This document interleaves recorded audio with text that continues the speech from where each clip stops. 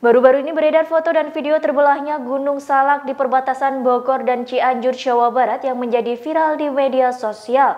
Beberapa foto dan video menunjukkan bahwa ada tiga titik tanah terbelah di perbatasan Cianjur, Bogor, dan Sukabumi itu. Kepala Resort Pengelolaan Taman Nasional Wilayah Gunung Salak 1, Ugur Gursala memastikan bahwa kondisi tersebut bukan tanah terbelah, melainkan longsoran di hulu sungai pada Senin 21 September 2020. Sebab pada Senin 21 September 2020 lalu hujan sangat lebat diikuti dengan angin kencang. Sehingga dapat dipastikan hal itu disebabkan oleh faktor cuaca yang cukup ekstrim. Dikutip dari kompas.com, curah hujan yang tinggi belakangan ini mengakibatkan debit air sungai Cikedung meluap. Hal itu memicu longsoran dan banjir di bibir sungai. Berdasarkan identifikasi lapangan longsoran terjadi tepatnya di hulu sungai Cikedung atau puncak Salak 3 hingga mengalir sampai ke hilir atau tepatnya di Kampung Palalangon, Desa Pasir Jaya, Kecamatan Cigombong, Kabupaten Bogor, Jawa Barat. Pada saat kejadian tinggi air sungai di hulu atau puncak Salak 3 cukup tinggi dan air terpecah di lokasi pesawahan dan ladang atau kebun masyarakat.